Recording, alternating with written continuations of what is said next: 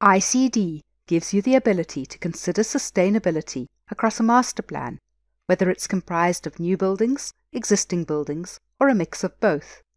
You can work in a 3D view that encourages multidisciplinary collaboration. Your project can be a simple campus, or a wider community, or even a city. You can create your central model by importing data from OSM or other open sources directly into our SketchUp plugin. You can incorporate roads, paving, landscaping, and even terrain in the import to give your model context. If the imported data lacks relevant information, data for each building can be independently edited to refine the defaults. The Data Painter tool lets you match properties within the model, in much the same way as you would copy-paste data in other applications. This will significantly speed up the process of assigning data. User and model information preferences can be easily adjusted to suit your requirements. You can quickly and easily run an annual energy and water simulation for any number of buildings within the ICD master plan model. You can also use iScan to import measured data from existing buildings. The ICD lets you produce robust and reliable results.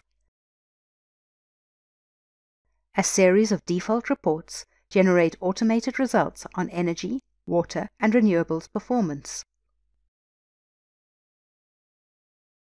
The Visualize tool lets you filter by object or by data to enable quick visual inspections of the model for assessing data ranges and geographic distribution. The dashboard displays quick graphs of the information, which is shown in color scales on the 3D model. In this way, you can see massing and the geographical context with integrated analysis capabilities for energy and renewable feasibility, all linked to services, utilities, water, access, and zoning information.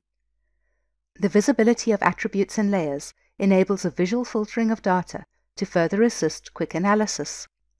From a planning perspective, the ICD also provides a unique view of walkability, mapping actual walking distance from a point based on the placement of pavements and paths, rather than just an estimated radius. The ICD can also track changes in a given master plan or city over time, taking into account the construction of new buildings and the demolition of existing buildings. The customized tool is used for the creation of custom attributes that need to be evaluated for particular projects. This lets you visually assess the impact of key decisions, to guide either new developments or retrofitting projects, or to plan changes to developments over time. Connect the ICD with other ICL tools to integrate inputs and outputs through the ICL shared database.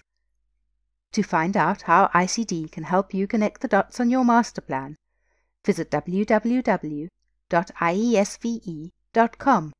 forward slash ICL forward slash ICD.